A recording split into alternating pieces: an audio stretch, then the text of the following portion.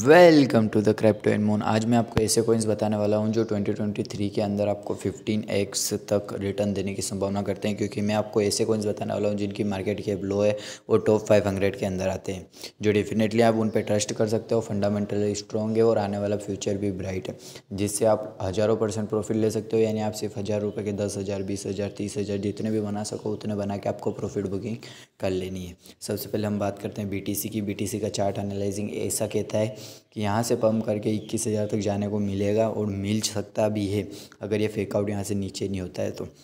Definitely आपको pump करता हुआ दिखेगा और मैंने इसकी पहली वाली वीडियो में आपको बताया था, सत्रह हज़ार पाँच सौ के ऊपर जैसे ही जाता है तो आपको एक लोन की एंट्री पुट करनी है।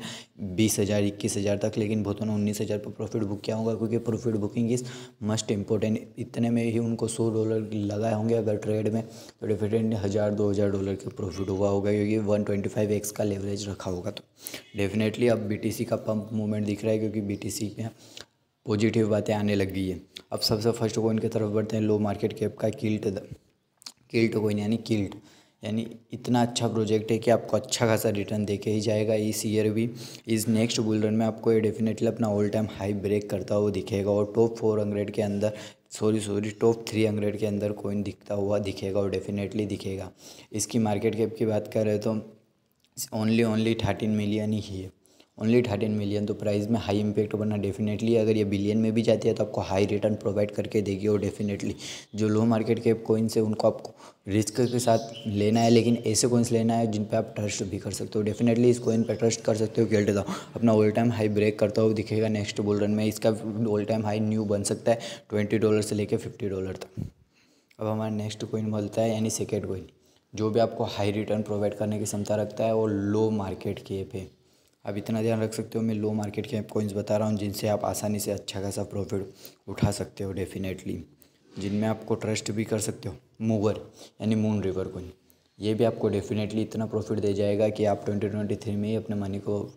टेन एक्स तो मिनिमम कर सकते हो डेफिनेटली इन पे कोई ट्रस्ट भी नहीं करता है, लेकिन आपको इनको बाय करके ज़रूर रखना है, जब भी ट्रेंड आएगा ये।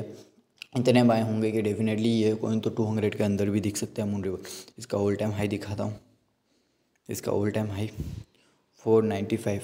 कुछ भी नहीं है, इसमें तो कुछ भी, क्या पता वो लिखा हुआ है। लेकिन डेफिनेटली ये आपको ज़्यादा से ज़्यादा मैक्सिमम से मैक्सिमम कितना दिखने वाला वो तो सबसे पहले इकतालीस मिलियन की इसकी मार्केट कैप है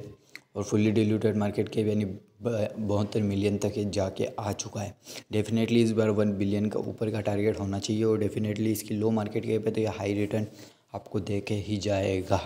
और डेफिनेटली जाएगा। Total supply ten point sixty three million में है ना कि बिलियन में तो डेफिनेटली इसका चार सौ पंचानवे का ऑल टाइम हाई है तो यूँ ही दिख रहा है, लेकिन डेफिनेटली आपको इसमें प्रॉफिट बुकिंग अगर करना चाहो तो छः डॉलर का चल रहा है, साठ डॉलर पर यानी टेन एक्स पे प्रॉफिट बुकिंग कर सकते हो, उसके बाद नेक्स्ट आप वन हंड्रेड एक्स तक भी कर सकते हो, यानी छः सौ dollar thank you so much watching take care and bye bye